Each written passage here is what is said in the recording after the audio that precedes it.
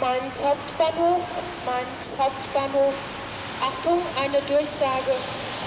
Die neue planmäßige Abfahrt für den Heute-Journal Express ist 21.45 Uhr. Ich wiederhole, 21.45 Uhr.